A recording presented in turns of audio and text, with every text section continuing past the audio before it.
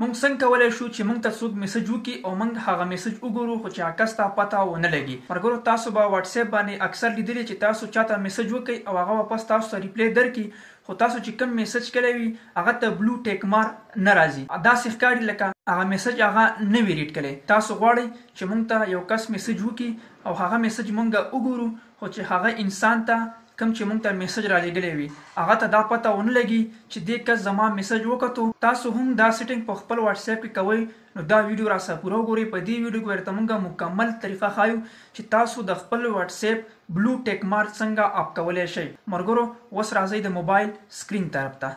ملګرو تاسو به واټساپ اوپن کړئ تاسو ته زه ښايم مثال کې اوس ما دا واټساپ اوپن کو. زه اوس زما دا دویم واټساپ دی زه په دې باندې میسج کوم تاسو ته ښایم دلته زه لیکم هلو دا ما سند کو ټیک ده زه اوس دویم واټساپ اوپن کوم چې دا بلو ټیک تاسو څنګه اپ کولای شئ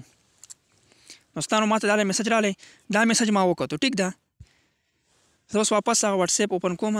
دا ماته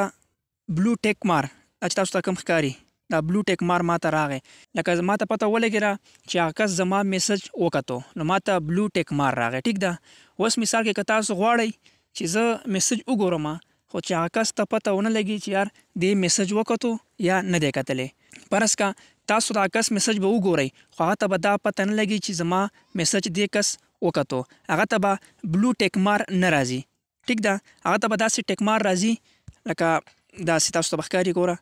هغه ته به داسی ټیک مار راځی ټیک ده بره بلو ټیک مار دی لاندی چی بغیر بلو ټیک مار دی هغه ته به داسی رنګ ټیک مار راځی خو هغه به میسج کتلی وی نو تاسو دا سیټینګ څنګه کولای شی مثال کی زه اوس په دی واټساپ باندی دا سیټینګ کوم تاسو به دا تری ډاټ کلیک کړئ بیا به راشی سیټینګ ته سیټینګ ته چی تاسو رالی بیا به تاسو داسی وکړئ چی اکاونټ به کلیک کړئ ټیک ده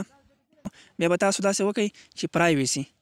پرایوسي به کلیک ټیک ده نو په تاسو لاندې راشي دلته به تاسو ته لیکلي ریډ ریسپټس دا به تاسو آپ کوي ټیک ده تاسو دا آپ کړو نو تاسو واتس اپ نه بلو ټیک مار آپ شي تاسو زه اوس خایم زه اوس دغه واتس اپ ته میسج کوم هاو ار یو دا میسج ما وکړو ټیک ده زه اوس دا میسج دلته ګورم دا دویم واتس اپ زه اوپن کوم دا ما ته میسج راغلی ټیک ده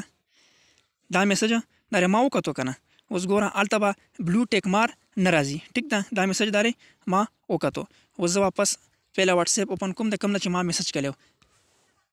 دا ری هاو ار یو دا ری بلو ټیک مار مونږ ته نه راځي بلکې میسج ما وکتو خو دلته بلو ټیک مار نشو کیږي دوستانو دا سیټینګ واپس تاسو ځخایم دا به تاسو څنګه کوئ بره تري ډاټ تاسو ته ښکاري ګوډ کې دا به کلیک کړئ لاندې به راشئ سیټینګ آپشن ته دا به کلیک کړئ بیا به راشئ اکاونټ ته اکاونټ چې کله تاسو کلیک کړئ بیا به پرایویسي پرایویسي نه بعد به تاسو لاندې راشئ ریډ ریسیپټس دا به تاسو آپ کړئ تاسو دا آپ کړئ نو تاسو موبایل کې دا سیټینګ وشو امید لرم په ویډیو به پوه شوي که چېرته بیا هم پوه شوی نه نو زموږ نه په کمنټس کې هم تپوس کولی شي اوس ماله راکړي اجازت د الله پامان